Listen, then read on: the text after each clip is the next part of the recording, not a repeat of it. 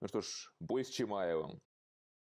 Ага. Тот, тот бой, который в этом году теперь уже стал знаменитым из-за того, что Хамзат высоко поднялся, то есть теперь все про него говорят. И я же правильно понимаю, что, в принципе, фаворитом до боя был скорее ты, чем он? Да, да, конечно. Я сам был стопроцентно уверен, что пройду его, потому что, там, я не знаю, я более уверенно шел. Но сама... Сейчас что оправдываться, да, это, тот день это был его вечер. Но сама, я думаю, я больше не буду гонять на этот вес. Сама эта сгонка, килограмм 20 согнал, это, это меня конкретно подорвало. Потому что вот сейчас во время боя у меня 91-92 килограмма, тогда у меня 83-84 килограмма было во время боя. Я думаю, это огромная разница для меня и в физическом плане, и во всем. Но случилось то, что случилось. Сейчас, сейчас что это, воротить назад воротиться. Что скажешь о его борьбе? Потому что он так и не смог тебя перевести. So that shows the kind of power that Hamzat has.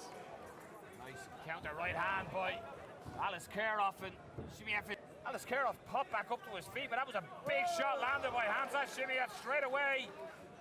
You are the cobwebs clear, Kieran? Good. Shimiev just working to try and get the back, but beautiful work by Alice Kerhoff not to allow it. Again, that Zambo background. Предпочтительнее смотрелся, но как вот мне вот со стороны показалось. Ну, я думаю, он подсел там тоже функционально. И уже борьба-то так, у нас в Дагестане, у нас все пацаны борются с борьбой.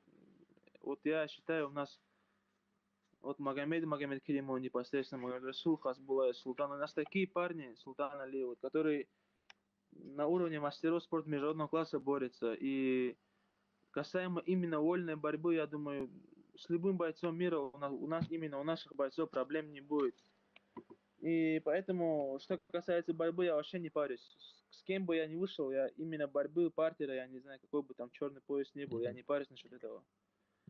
И, и вот так, и да, функцион... вот, вот пропустил удар, да, вот так чуть, я не знаю, я по боевому самбо на 90 килограмм мир выиграл, с большими тяжами работал, большие сильные удары выдерживал. И из-за такого тычка упал так. Я думаю, это, скорее всего, это весогонка виновата во всем. Ну и Хамзат тоже хорошо подошел к бою, надо отдать ему тоже должное. Пацан хороший, что он показывает тоже сейчас UFC тоже. Ну, ты, наверное, не ожидал, что у него такая ударка мощная, учитывая, что все-таки он базовый там вольник, а тут он прям... Ударка мощная тоже, что там, Илья, там же так, может, он не перебивал же меня так тоже сильно, я просто попал, да, он как бывает, это бои, так, бывает, пропускаешь. Я на один удар попал, и вот так получилось. Ну, там удар просто такой прям очень техничный сам по себе получился, Да. надо сказать. Да, да, да, да, попал он хорошо. Просто там, знаешь, Да. как бы, чтобы борцы прям выбрасывали такие четкие апперкоты, но мне кажется, не часто, в общем, такое случается. Да, да. Но я тоже слишком, я, я знаешь, как во время боя я увидел, он функционально подсел конкретно, потому что он много сил отдал, постараясь повалить Мгм. меня, у него не получилось.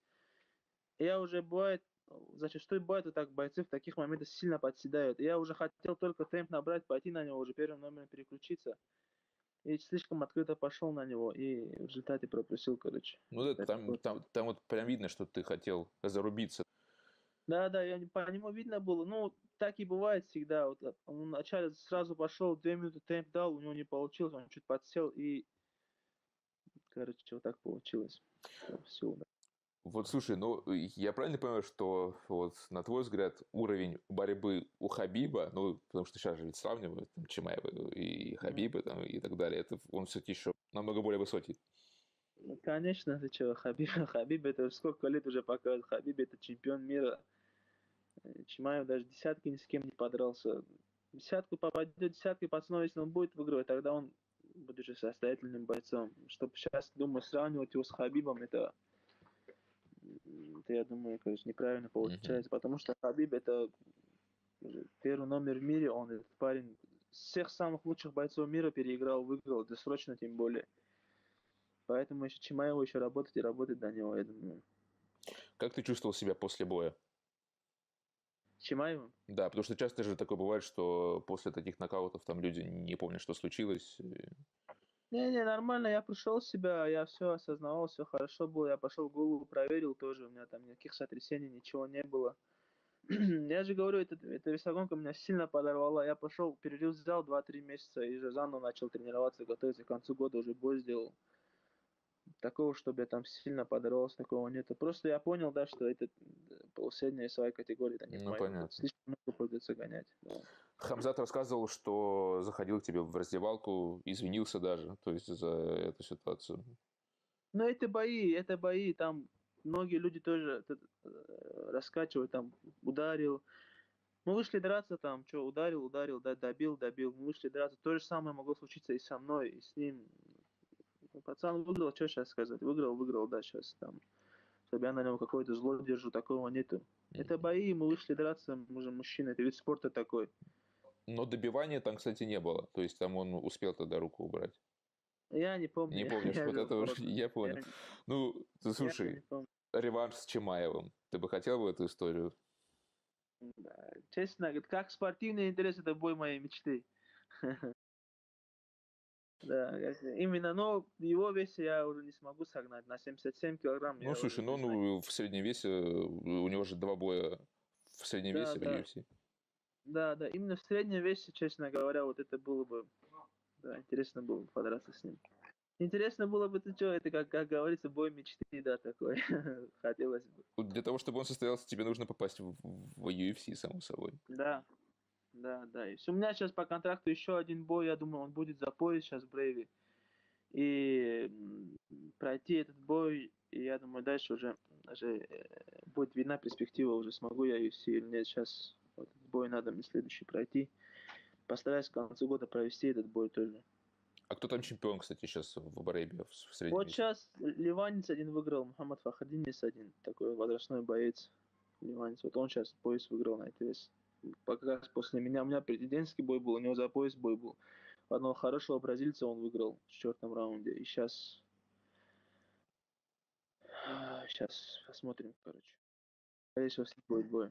Ну, то есть, если все хорошо сложится, то нацеливаться будешь на переход в UFC. Да, Но тут, да, тут, конечно, тебе, я думаю, нужно болеть за Чимаева, в том плане, что если он, Хамзат на да, хайпе конечно, будет, непосредственно, непосредственно я ему желаю только победы всегда, потому что пацан молодец, пацан старается, чтобы как-то на него зло держать или как-то что-то, что-то у меня такого нету. Всегда, вот, честное слово, всегда ему победы желаю, чтобы он до, до чемпионства тоже дошел, я желаю. Молодец он. ну, он молодец, конечно, и в том плане, как себя стал раскручивать, то есть вообще позиционировать, что все. Конечно, он дерется, надо отдать ему должное, он дерется три месяца, три боя сделать, это немало стоит, я думаю, тем более, ну, весогонка тоже была. Молодец.